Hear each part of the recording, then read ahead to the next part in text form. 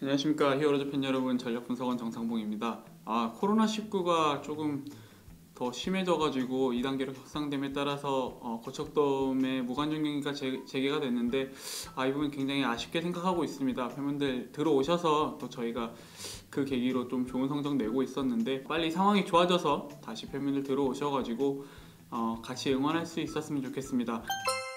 어, 한화의 3차전도 쉬운 경기는 아니었다고 생각을 해요. 어, 그렇지만 브리검 선수가 이날 등판을 해서 6이닝 1실점의 좋은 투구를 보여줬는데 어, 사실 투심 제구가 이렇게 잘 되지 않으면서 많은 사사구를 내줬어요. 어, 스트라이크 비율도 30%밖에 나오지 않으면서 조금 힘겹게 이닝을 끌고 갔는데 어, 다행히 커브랑 슬라이더가 어, 좋은 breaking을 보이면서 상대 타자들을 잡아냈고 많은 삼진을 기록했습니다. 6이닝 동안 7개를 잡아내면서 상대 타자들을 돌릴 수 있었고 브리검 선수가 앞으로 그냥 건강하게 이렇게 로테이션을 돌아주는 게 팀이 후반에 치고 나갈 수 있는 관건이 될 것 같습니다.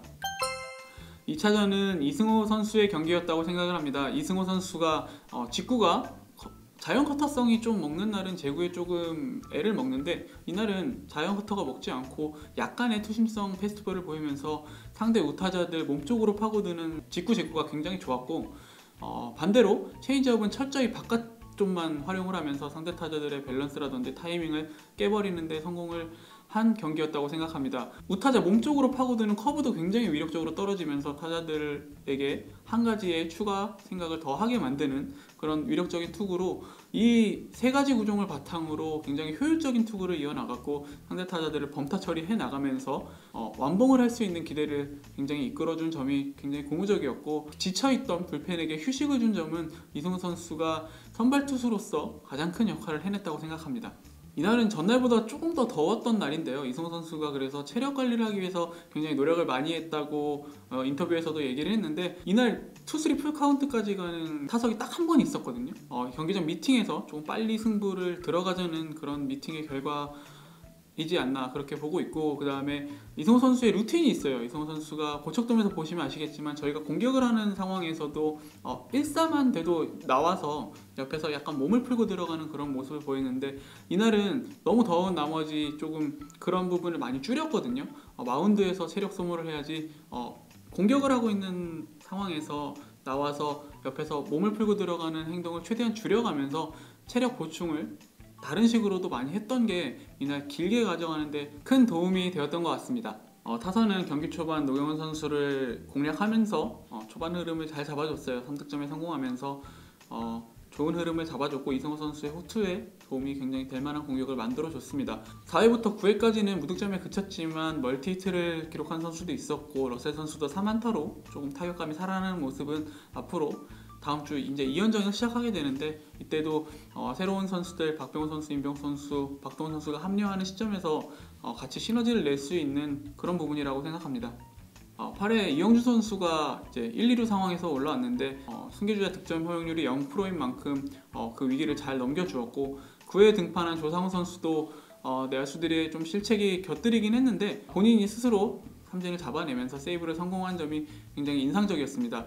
어, 조상우 선수 경기 전에 만나서 막 얘기를 했었는데 아, 하나전 두 경기 동점 상황에 등판해서 어, 구원승도 챙기고 열심히 호투했는데 3차전에 세이브 상황이 나와서 20세이브를 기록하지 못한 점이 좀 아쉽다고 얘기를 했었거든요. 네, 이 사, 이날은 20세이브 상황이 나왔는데 어, 좀 내야가 좀 흔들리면서 조금 어수선한 분위기가 연출이 됐었어요. 그런데 경기 끝나고 만나서 얘기를 해봤는데 아, 20개를 챙겨주는 동료 선수들이 좀 신경 써준 게 아닌가 그렇게 어, 웃으면서 얘기하면서 좀 좋은 멘탈을 보여줬습니다. 어, 조성 선수 20세이브 개인적으로 굉장히 축하합니다.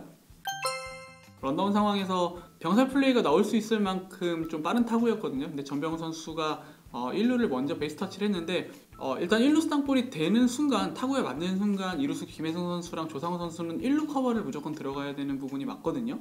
근데 이제 전병우 선수가 1루를 터치하고 2루수 태, 2루를 선택을 하면서 이제 태그 상황이 연출된 게 조금 어, 어수선했는데 여기서 이제 러셀 선수가 어, 전병우 선수랑 런다운 플레이를 하면서 마차도 선수를 잡아줬어야 되는데 사실 2루가 이렇게 되면 비는 상황이거든요. 근데 정석적인 플레이면은 외야수가 들어와서 어, 2루를 커버를 쳐줘야 되는데 타구가 워낙 빨라가지고 외야수도 좀 들어올 수 없는 상황이라 좀 애매한 상황이 연출이 됐어요. 그래서 결과론적인 이프를 붙여보자면 전병훈 선수가 3루 주자, 주자였던 이대호 선수가 홈으로 대시하는 과정에서 홈을 먼저 선구했으면 어땠을까 하는 그런 생각을 해봅니다. 그래도 김혜성 선수가 1루로 스타트가 끊긴 시점에서 중간에 이제 어, 선로를 변경해서 2루를 따라가는 모습은 굉장히 좀 좋았다고 생각을 합니다.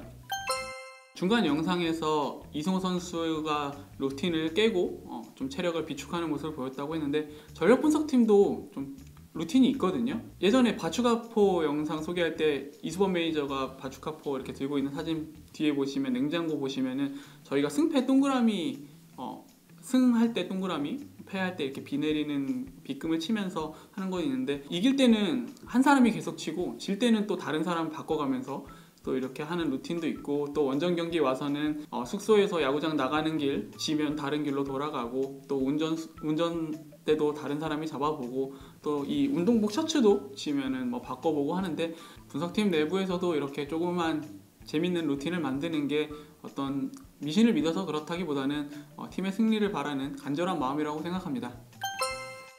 오늘로써 이제 3연전이 종료가 되고 이제 다음 주부터는 2연전이 시작되는데 첫 상대가 하필이면 또 NC예요. 그래서 어, 저희가 준비를 굉장히 좀 많이 했고 어, 부상 선수들도 다 한꺼번에 복귀가 되는 그런 시점에서 저희가 꼭 NC를 조금 턱 밑까지 더 따라잡을 수 있도록 그렇게 만들어 보도록 하겠습니다. 어, 많은 기대해 주시고 많이 응원해 주시기 바랍니다. 감사합니다.